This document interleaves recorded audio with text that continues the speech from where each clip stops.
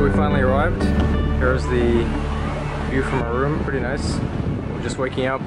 Breakfast was good here at the Occidental Caribe. Um, it was funny when we arrived, the room seemed a little run, run down. We thought the place was crappy, but then when the sun came up, uh, everything looked way better.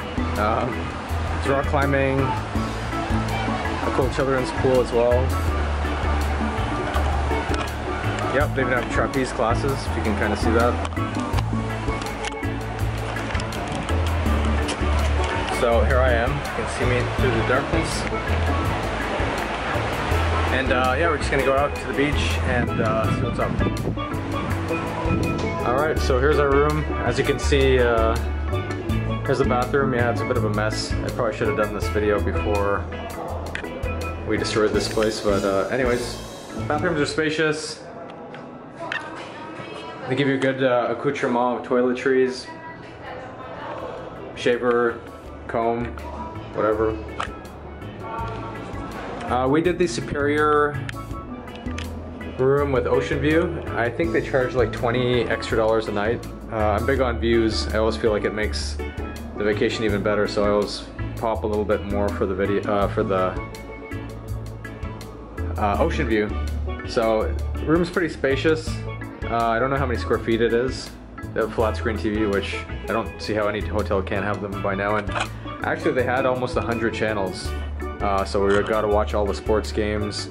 It's playoffs. Um, they even lent us a crib. Fantastic. Yes, there's a safe in case you're wondering. Plenty of drawer space. There is room service. Um, however, you have to pay for that. I know some hotels give it to you for free when you have all in, all inclusive. Uh, they don't here, but that's no big deal. We have a nice ba balcony. Give me a second. With a door that never really worked properly, but anyways, let me open it from the other side because the door is broken. Um, something they'll have to fix in the future.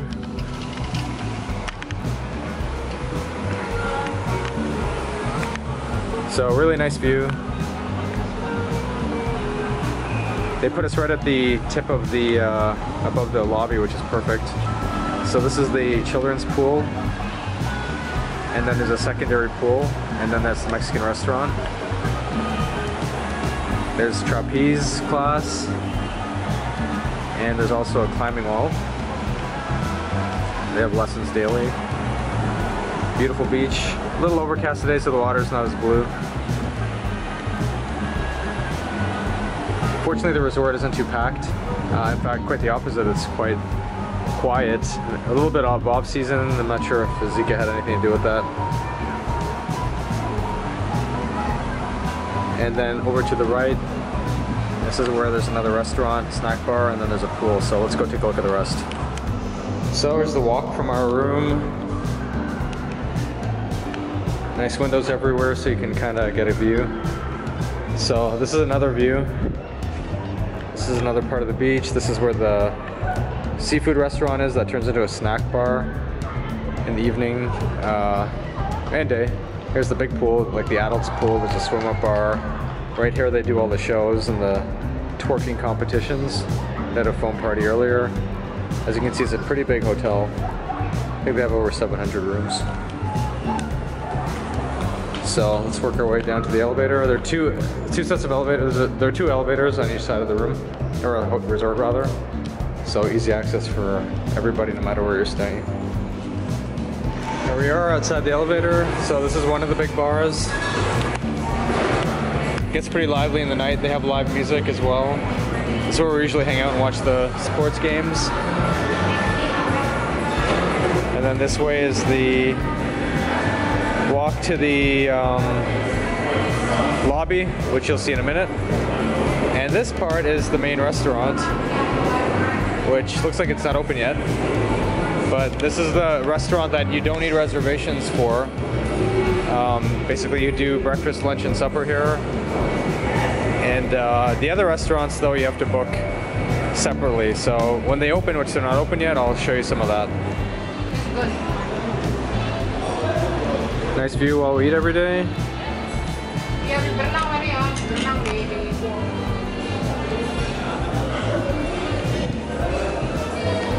We have an a la carte dinner tonight at the Italian restaurant. By the way, the best restaurants to eat at are the French restaurant, the Italian restaurant, and the uh,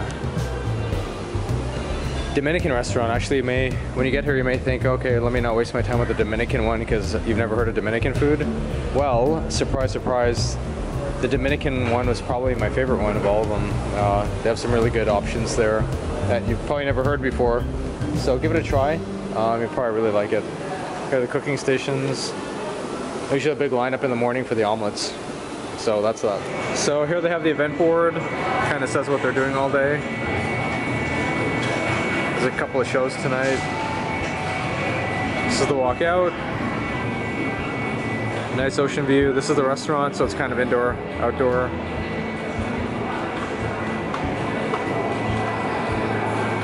The pool. Down here they have some souvenir joints and the tour company representatives who look like they have gone for the day.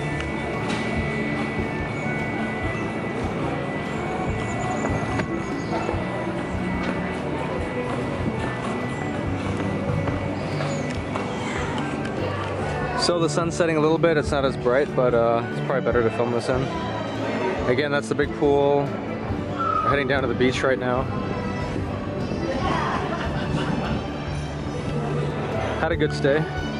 Um, for some weird reason, you can pretty much wear whatever you feel like, including your bikini for breakfast and uh,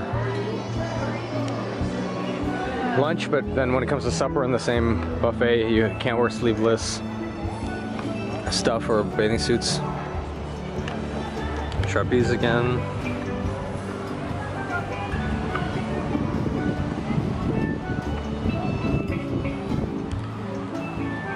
This is one half of the resort. It's like two wings. Our room is just around here. And then you'll see in a minute that this hotel has the same side on the other side. So it's pretty huge.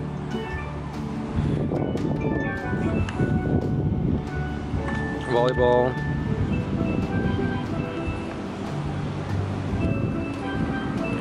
Nice Caribbean Ocean, not as spectacularly blue because the sun has gone down, but it is that nice tur turquoise water. You can pay extra and have a lobster dinner. As you can see, I don't know if many people do it.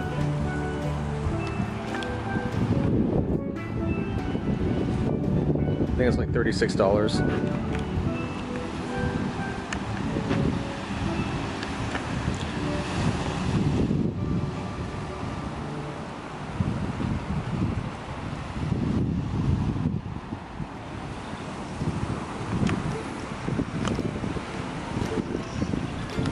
See there's a bar here, outdoor bar.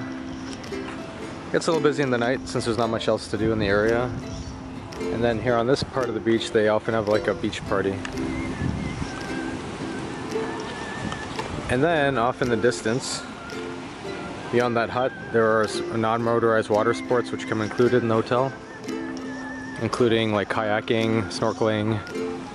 They even give you a catamaran if you want. Um, you just gotta book it a day in advance, but it's pretty good that way. You don't have to pay for any of those things in addition. You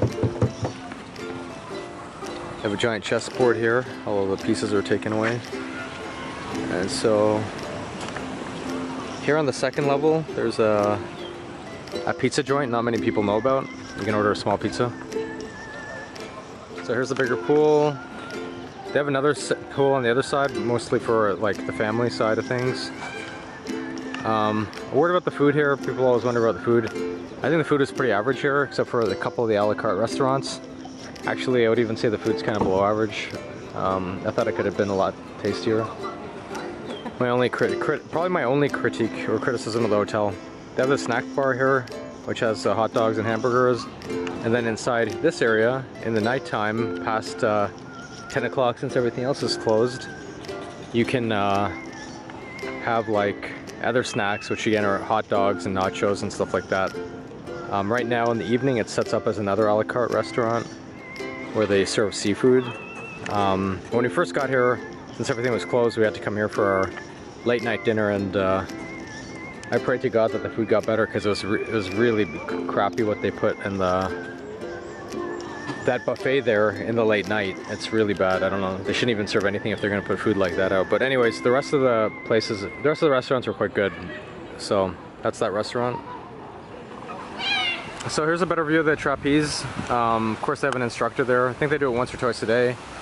Now this side of the hotel, this next wing is mostly for the family kids side. So you can see they have a really cool um, pool with a whole bunch of slides. I went down one of the slides and they came running out at me saying it's for kids only. Um, so that was that.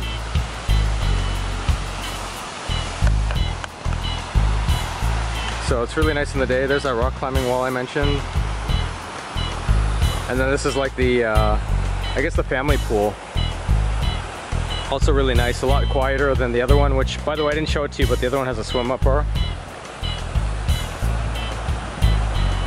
So nice, they got like these built-in chairs into the pool.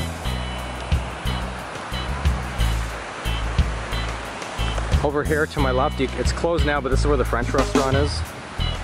And then there's another bar over here. So there's a bar on each side of the hotel and then another bar outside near the beach, which I showed you. And then here are all the like little stores. There's a massage joint right here. Never did one, that's not included by the way. There's a 24 hour clinic, which I think is really important to have. Um, they're always advertising casino stuff. Here's a gym, which by the way, the gym was actually surprisingly good.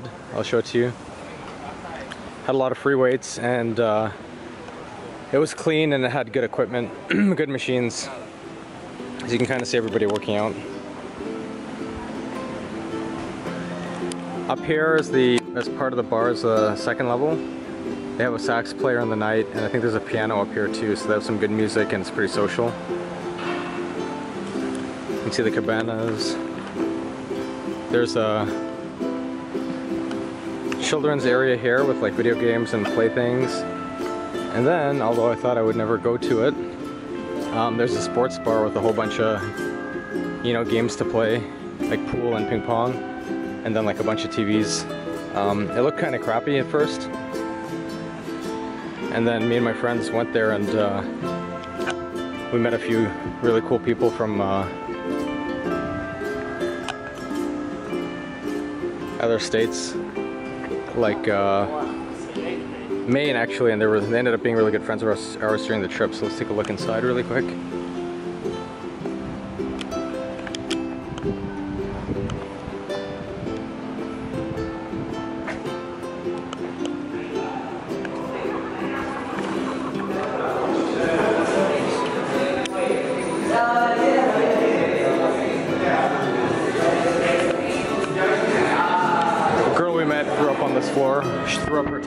After eating too much stuff.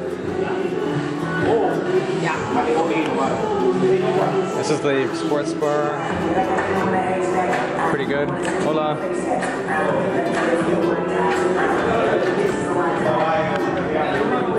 And then that's kind of it. I mean, there's this part over here has the Mexican restaurant. The food there is decent. It's open for lunch. Um, if you don't want to do the buffet, that's the one place that's decent to go to for lunch as well. So here we are walking to the other side of the bar or hotel. This is the other bar. You can kind of see they mirror each other. Guest services, which comes in handy. I'll explain why in a minute. Um, you can see it's the evening, so the live music is starting to get broken out. Sax guy, actually pretty good music. It's not just some old school jazz or anything like that.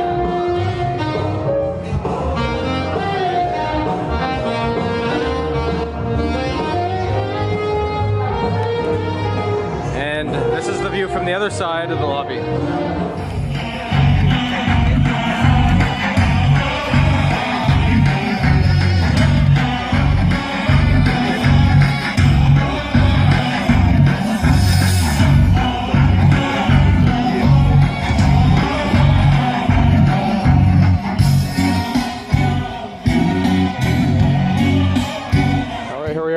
Countdown.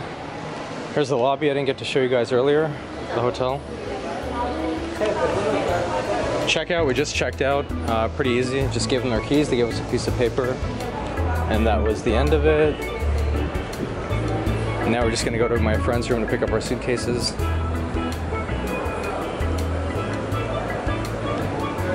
Um, one quick note. Um, we are getting a shuttle. It's called Coming To, C-O-M-I-N-G, and the number two. Um, that's gonna get us, all three of us, well, two of us are getting a shuttle to the airport for um, $18, which is the cheapest I've seen. The cheapest I saw before that was $11 per person with Blue TPS from Expedia. Um, and they were good. They picked us up at the airport right on time and drove us here. But now we got an even cheaper one from a, looks like a legitimate company because I actually have a representative at the hotel. But I did it through Expedia. I think it's always cheaper through Expedia for some reason. And they're going to come to pick us up in about 20 minutes. And that's it. That's going to conclude our hotel stay, and then we're going to hit the airport. So those are the Blue TPS is what I recommend, and coming to uh, for your airport transfer. But again, do it on the uh, Expedia website. One other thing too I want to mention before it eludes me, there is a casino on the grounds. It's called Sky Casino. You can see it there. Don't go there. I mean, you can go there to watch a sports game. They have a big, a big projection projector. The problem with that place is uh, one of my friends went there and they, they run a scam of a game and it has nothing to do with luck. They hide numbers from you and then they make it seem like the game's easy so you rack up a bill with them and my friend ended up, you know, owing them $12,000 on, on the prospect that he would get like a $400,000 payday or something like that. Don't do that game. That's a, it's a scam that if you research it, has been being done in Dominican for years, and it just kind of suckers unwitting, uh, you know, tourists to play a game that they will never win because they don't actually show you the numbers and they don't play fair. Um, and then they scare you into trying to pay them. They wanted to drive my friend around the city to pick up money from different bank account, uh, bank machines. Um, but when we called them out, called their bluff, when we called their bluff on the game being a scam, um, there's nothing. They didn't do anything to him because he didn't actually pay all the money. They did it to him on credit, so he didn't pay all that twelve thousand. When we told him what a scam it was and whatever else. So just you know, if you go to the casino, and by the way, don't expect the hotel to help you if this casino screws you over. Um, the hotel is just going to say they have nothing to do with the hotel. It's a separate business, even though they advertise it everywhere, and even though it's literally right here at the side of the casino as part of the building. So I'm not sure how much the, this hotel is involved with it, but if they want to have a good reputation here, I'd suggest Occidental get rid of that uh, casino because it's damaging your reputation. All right, that's it for now.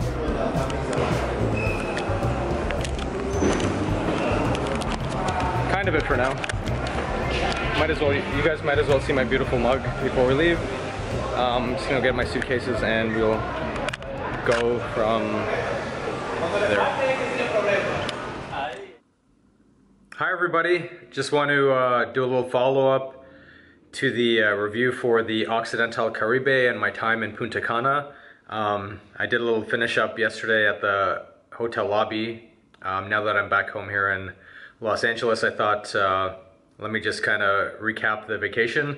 So this was my first time in Dominican Republic. I had heard a lot about it. You know, growing up in Canada, it seems like that was the go-to place to go, especially for people in high school. We always in Canada we always go to either Cuba, uh, Dominican Republic, and obviously Cancun in specific in Mexico. Um, so I finally went, uh, met my friend there for his birthday. My birthday's coming up too, and we had a good time. Uh, we had, you know, the, the resorts there, contrary to some of the other places I've been, they're gigantic.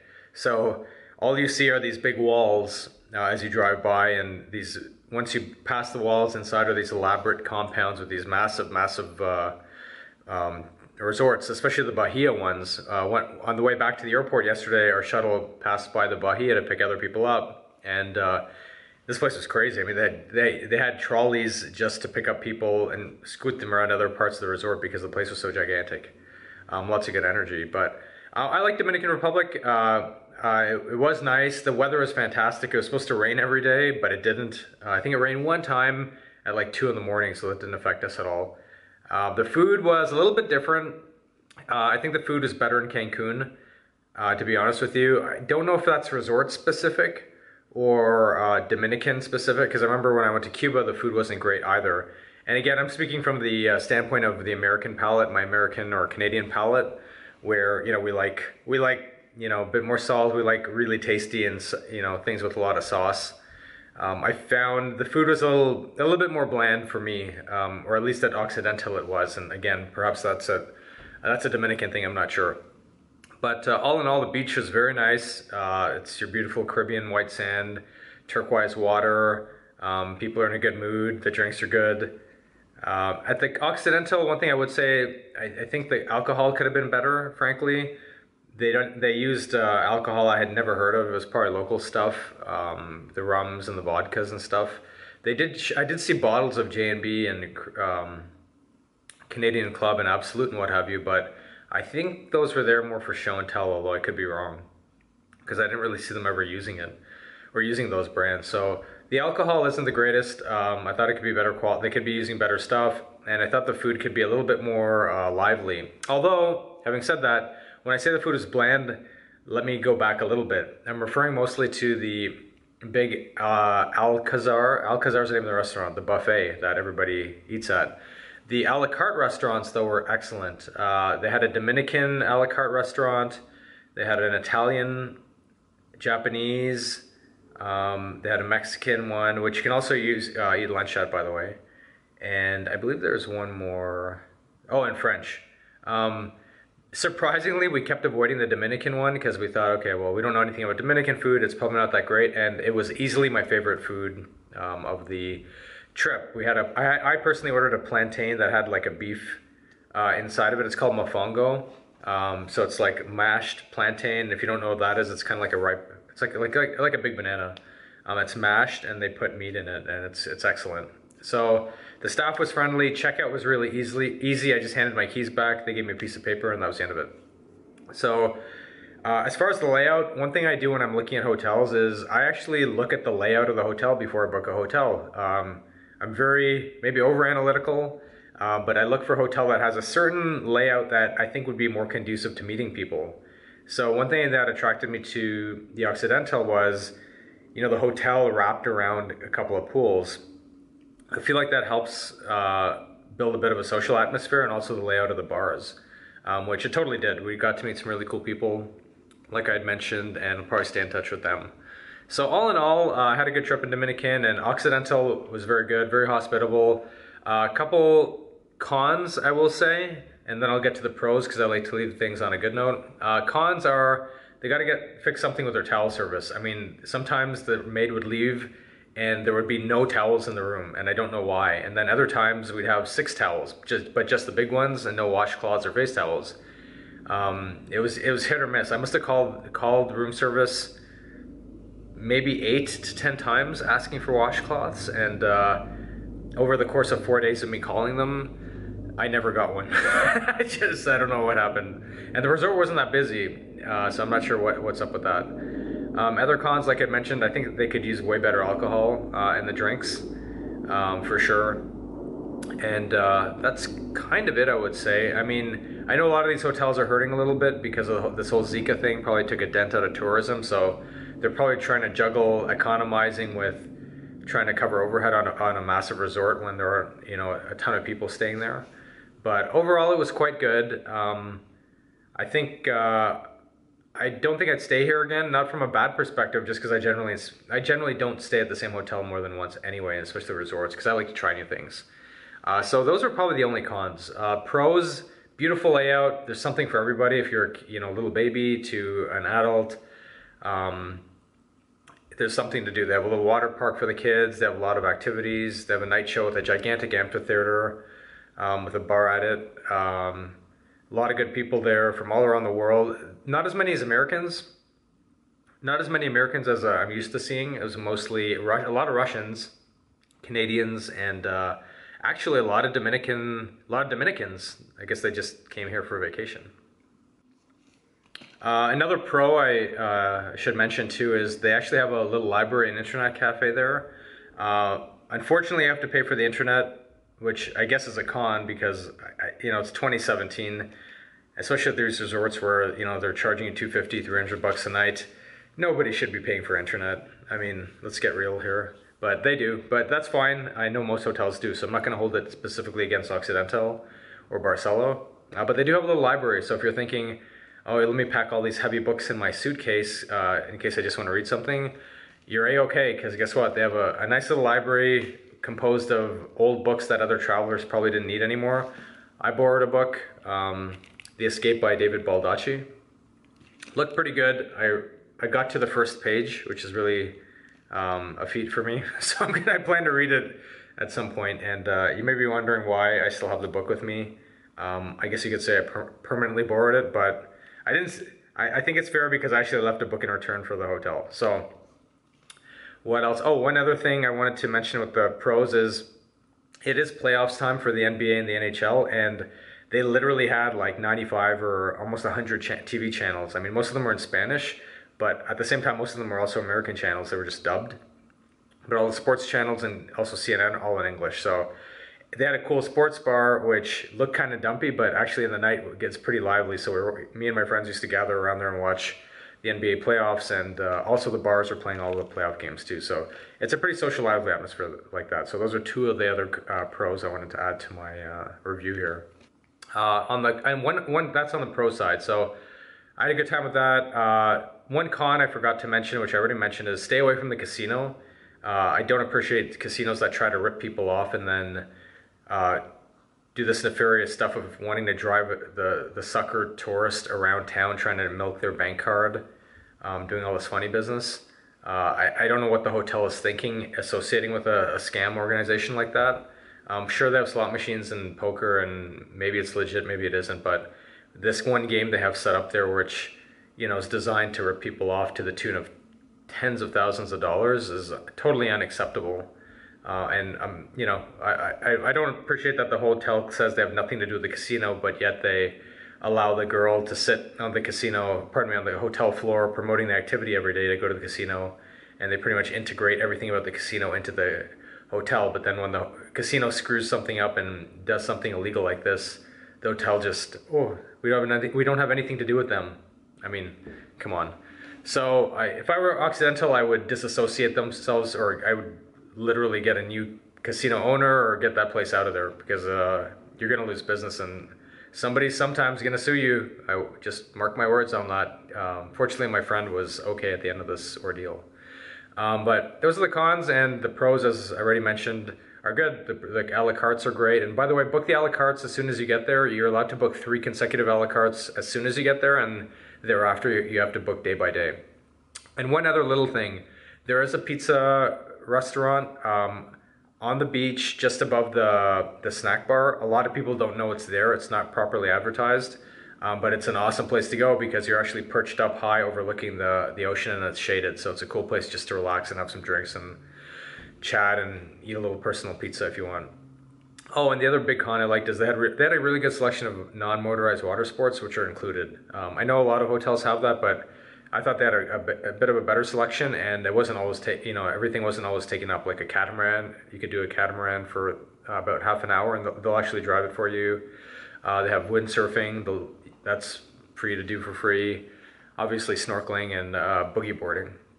So uh, quite good. I enjoyed it. There are a bunch of tour operators too that are local, that are actually they have offices in the resort so you don't have to go go shop around too much. Uh, most people think if you if you organize your tour from the hotel, it's going to be a big ripoff uh, versus doing it online. Shockingly, I found the opposite to be true. Um, when I was looking at Expedia and TripAdvisor for certain activities, those activities, the big ones in Dominican are doing the little buggies over the, you know, through a trail somewhere. Um, dune buggies I'm referring to, zip lining. Um, there's a booze cruise where you go to this uh, island called Saona Island, where it's just you know turquoise water for thousands of feet. Those actually were much cheaper just going to the local uh, tour guides or tour operators that are located next to the next to the pool.